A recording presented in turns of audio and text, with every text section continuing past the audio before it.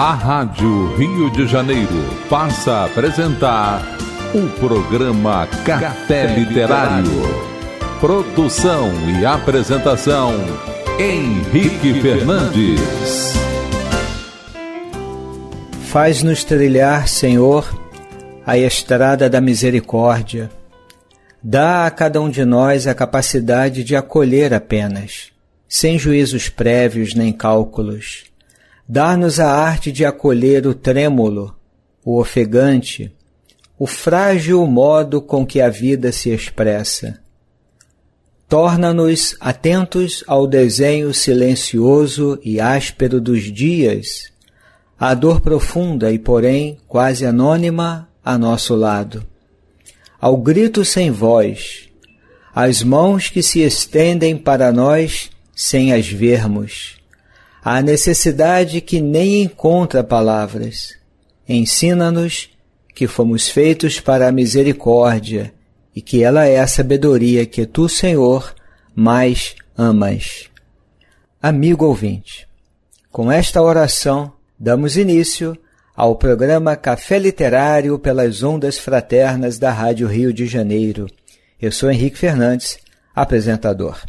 A prece foi escrita por José Tolentino Mendonça, ensaísta e poeta português, especialista em estudos bíblicos. Encontra-se na obra Um Deus que Dança, Itinerários para a Oração, da editora Paulinas. Fala-nos da misericórdia, que é essa capacidade de acolher sem julgar. Uma virtude exaltada no contexto do cristianismo, que na sua origem significa colocar o coração, cor, misericor, à altura da miséria, quer dizer, à altura do sofrimento do outro seja o sofrimento moral, emocional, econômico, social e assim por diante. Este tema apareceu, de certo modo, em programas anteriores, quando dedicamos alguma atenção aos processos da atenção, da empatia e da ação compassiva ou compaixão. Seguindo os estudos do psicólogo norte-americano Daniel Goleman, através dos seus livros, a inteligência social, inteligência emocional e outros que citamos nestes programas. Nós vamos dar sequência ao tema, amigo ouvinte, trazendo a contribuição de um outro autor, também conhecido aqui no Café Literário, que nos fala sobre a relação entre o altruísmo e a felicidade. No último programa, nós chegamos também a falar sobre isto, estabelecendo uma relação entre a compaixão e o contentamento, com base num livro excelente que comentamos, Contentamento, de Sua Santidade o Dalai Lama e do arcebispo Desmond Tutu, uma obra que merece de fato ser lida, consultada, refletida. E a compaixão, segundo os seus autores, é um dos oito pilares do contentamento.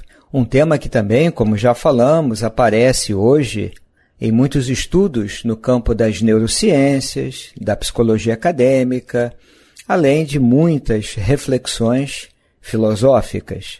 Mas, como dizíamos, o tema vai ser abordado aqui de novo com a contribuição de um autor muito importante, que, como eu também já disse, é conhecido aqui no Café Literário porque falamos dele através de uma importante obra dele, uma obra volumosa, que se chama A Revolução do Altruísmo. Ele tem se dedicado há anos ao estudo desse tema, o altruísmo, fazendo uma ponte dialógica entre o budismo, as práticas do budismo, as concepções budistas e as neurociências, a psicologia, a filosofia e incursões em outras áreas do conhecimento. Eu me refiro ao notável Mathieu Ricard. Ele nasceu em 1946, é filho de um filósofo francês bastante conhecido E a propósito, ele escreveu com seu pai uma obra que já está em português e que se chama O Monge e o Filósofo. Mathieu Ricard foi pesquisador em genética celular da equipe do laureado cientista François Jacob, mas ele resolveu abrir mão da sua brilhante carreira acadêmica e se tornou monge budista e mudou-se para o Himalaia. Isso há mais de 35 anos. Ele também é fotógrafo e autor de obras bem interessantes. Uma delas se chama A Arte de Meditar, também já está em português. A Revolução do Altruísmo, que acabamos de citar, uma obra que se chama Em Defesa dos Animais, e além disso, ele é tradutor do Dalai Lama. Ele se destacou e se especializou no estudo dos efeitos da meditação no cérebro e participa de inúmeros projetos de pesquisa, mas sua vida hoje é toda dedicada a essa área do conhecimento. O livro que nós vamos começar a apresentar no programa de hoje, e destacando um único capítulo, se chama Felicidade a prática do bem-estar. Eu recomendo essa obra, eu estou terminando de ler, é uma obra excelente, uma obra da editora Palas Atena, de São Paulo. A obra foi lançada em francês no ano de 2003 e chega ao Brasil em 2007. Eu tenho aqui comigo a quinta edição da obra, que foi lançada no mês de setembro de 2017, mesma editora. O livro é um passeio pelo tema da felicidade, propõe reflexões, nos coloca em contato com estudos na área, estudos acadêmicos. Começa falando da felicidade, se é o propósito da vida ou se não é.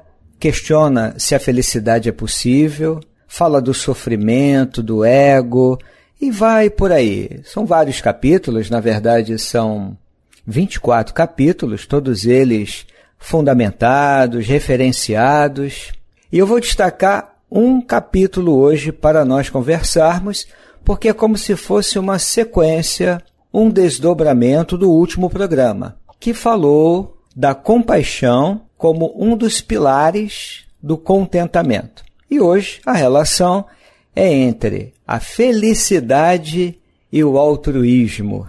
Eu quero começar dizendo que o prefácio é do Daniel Goleman. Isso é interessante porque é o autor que tem nos ajudado a abordar os temas da atenção, empatia, compaixão. E eles são amigos, eles estudam juntos, se conhecem, já escreveram juntos. Esse livro em particular é do Mathieu Ricard e o prefácio é do já conhecido e citado Daniel Goleman. E num toque bem pessoal, ele encerra o prefácio dizendo assim: Poucos dias depois de minha esposa e eu encontrarmos Mathieu, pela primeira vez, tivemos a oportunidade de passar algumas horas com ele no aeroporto de Katmandu, esperando pelos voos que sempre atrasam muito. Essas horas passaram tão depressa que pareceram minutos, no puro prazer de orbitar em torno de Mathieu Ricard. Ele é, sem dúvida, uma das pessoas mais felizes que conheço, e sua felicidade é contagiante.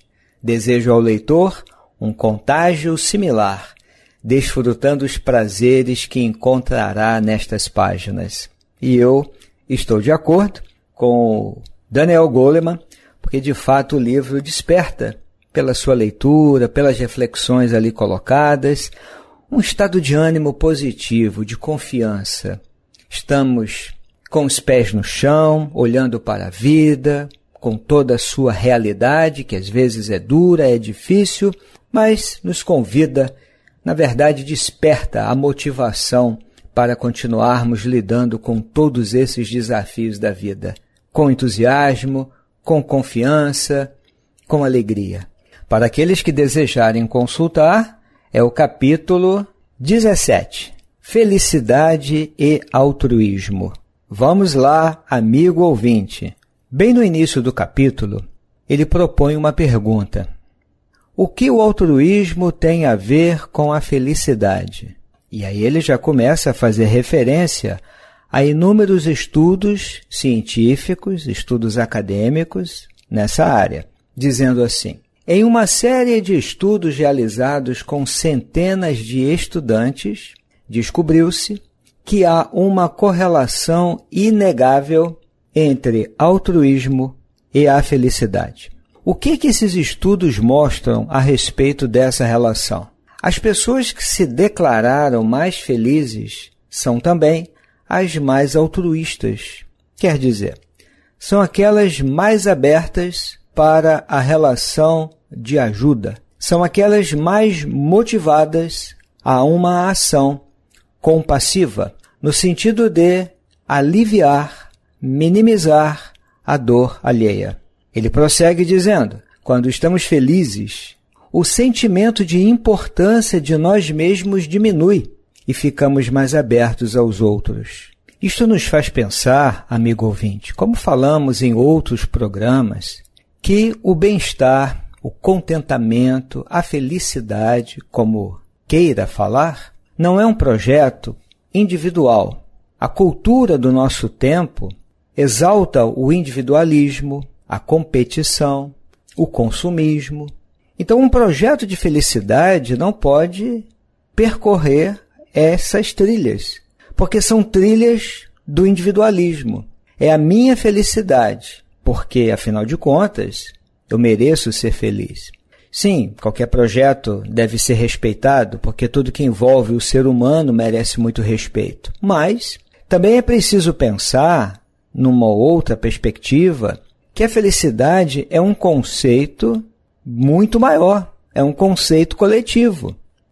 Por isso que está intimamente relacionado tal conceito ao altruísmo. Eu me torno feliz quando eu abandono esse projeto pessoal e individualista de felicidade. E quando então, por outro lado, eu abraço uma tarefa maior que envolve o outro, especialmente aliviar o sofrimento alheio. Você está ouvindo o programa Café Literário da Rádio Rio de Janeiro. Eu sou Henrique Fernandes, apresentador.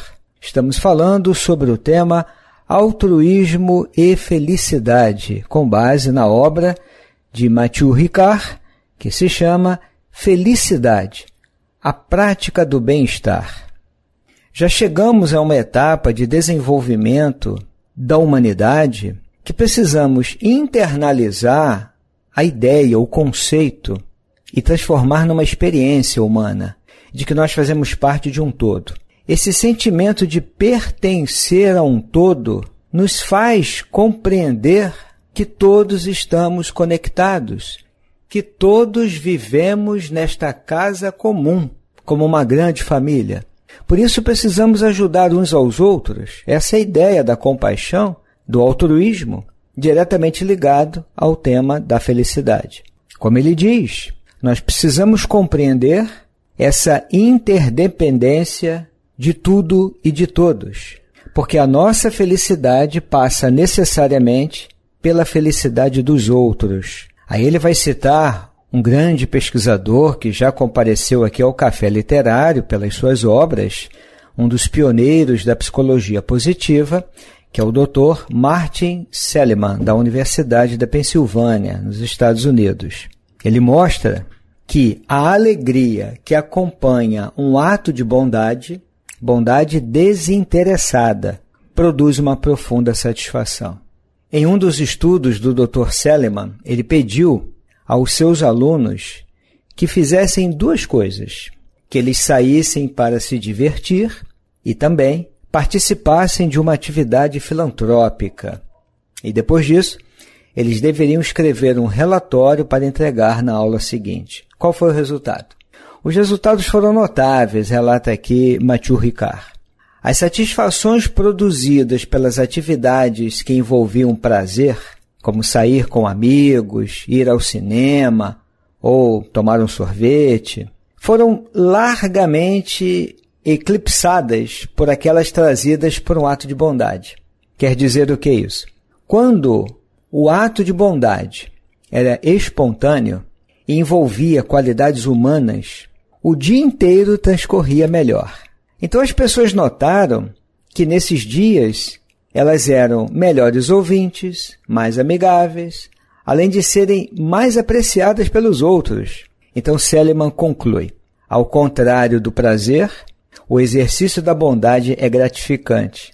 Mas em que sentido isso? No sentido de que produz uma satisfação duradoura e um sentimento de harmonia com a nossa natureza interior. E Mathieu Ricard, em seguida, cita o grande filósofo Jean-Jacques Rousseau.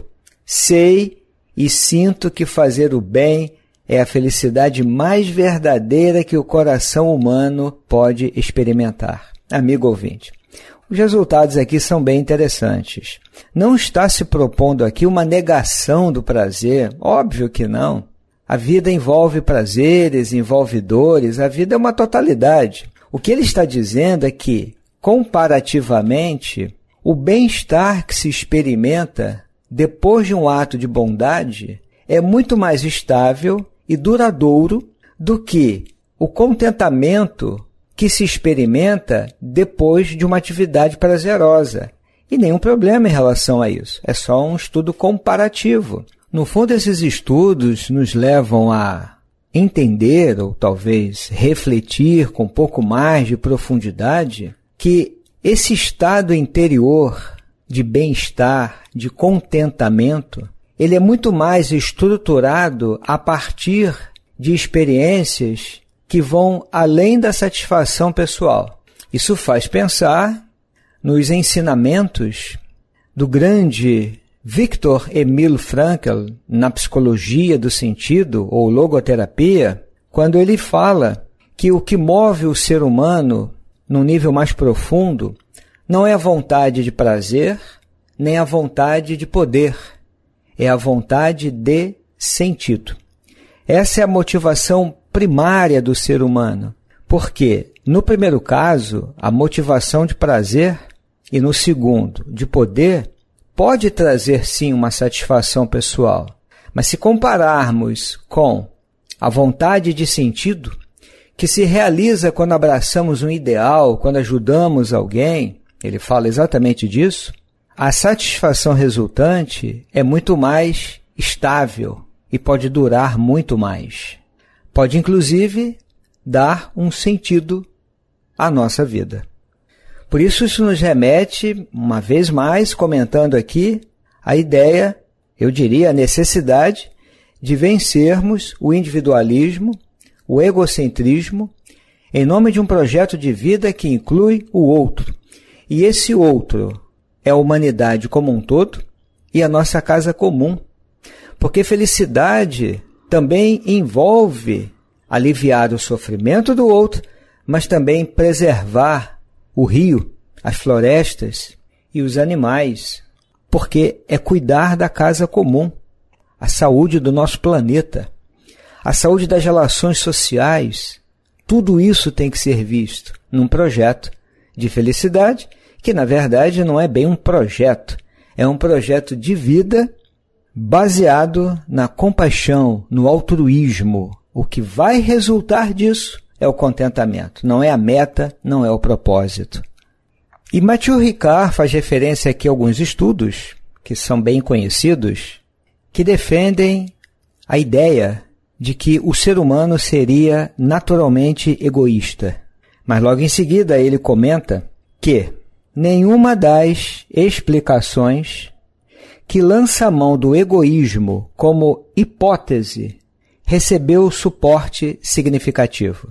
O altruísmo genuíno, essa bondade genuína, motivado por nenhuma outra razão senão o bem dos outros, apesar de tudo, é possível.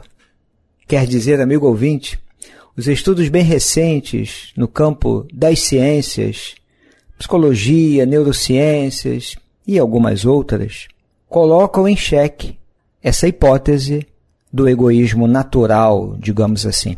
E um pouco adiante ele faz um questionamento que eu considero assim bem oportuno, que é como saber se uma pessoa considerada altruísta não está agindo apenas a partir da motivação de sentir o orgulho que vem de realizar um ato de bondade. Como saber se esse comportamento altruísta, se esse ato de bondade foi por orgulho ou é só pelo prazer de servir? E ele vai responder da seguinte forma: Para um altruísta verdadeiro, é o resultado que conta, não a satisfação pessoal de ter ajudado. Isso muda o ponto de vista. Isso é precisamente o que foi demonstrado por Batson e sua equipe em seus complexos estudos. Aqui, Mathieu Ricard está fazendo referência a um psicólogo norte-americano, é, Daniel Batson, que realizou um número grande de experimentos sociais que foram concebidos para testar a natureza da motivação de ajudar os outros evocada pela empatia. Vale a pena aqui ler sobre isso com um pouco mais de cuidado no livro Amigo Ouvinte. Existe sim um altruísmo genuíno, autêntico, onde o que conta para a pessoa é o resultado, não é a sua satisfação pessoal. É o bem do outro, não a minha satisfação pessoal. O que vale é isto. E para dar exemplos desse altruísmo genuíno, ele cita dois casos aqui no livro. Um deles diz respeito a um sábio tibetano do século XIX que aqui ele apresenta. E um exemplo mais próximo de nós, como ele mesmo diz, que é de Maximilian Kolbe, que foi um padre franciscano. Ele, no campo de concentração de Auschwitz, se ofereceu para tomar o lugar de um pai de família. Por que isto? Este pai de família, juntamente com nove outras pessoas, ele tinha sido escolhido para morrer de fome e de sede em represália à fuga de um outro prisioneiro. Então, que fez o padre Maximilian Kolbe? Se ofereceu para ficar no lugar desse pai e morrer de fome e de sede. É um exemplo, sem dúvida, radical, mas que nos ensina muito sobre a capacidade humana de agir com bondade, com compaixão, com altruísmo.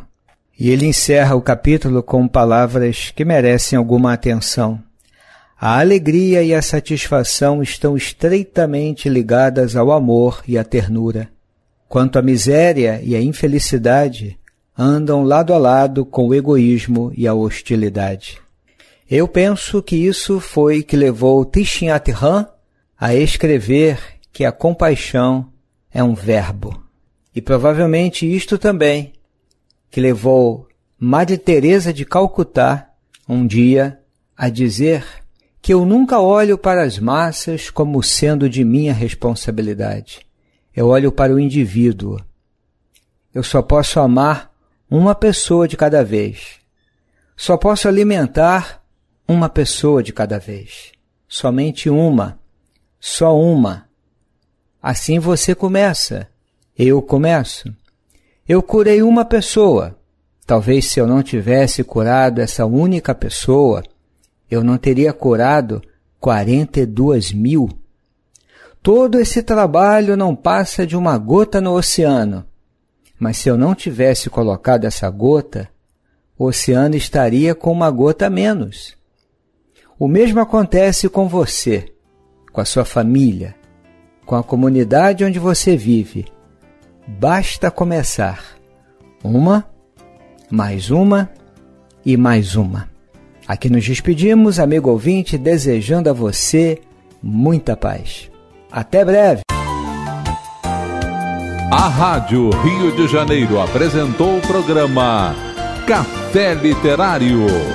Produção e apresentação Henrique Fernandes.